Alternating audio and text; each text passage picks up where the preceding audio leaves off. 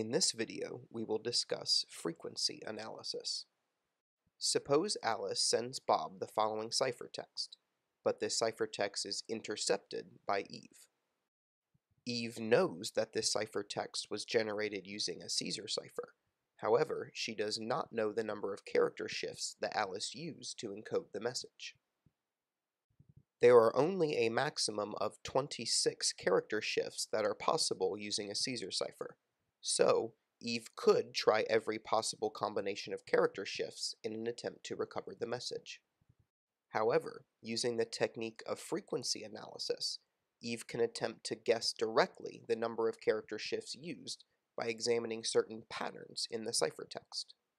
By counting the number of times each character in the ciphertext appears, there is a very high probability that the character that appears the most frequently is the character space. In the English language, the most commonly used character is the space. Once Eve discerns which character has been encoded as the character space, she then knows exactly how many character shifts were used in the Caesar cipher, and therefore can break the message. By counting the characters in the ciphertext she intercepted from Alice, Eve finds that there are 10 Ys, which is significantly higher than any of the other characters that appear.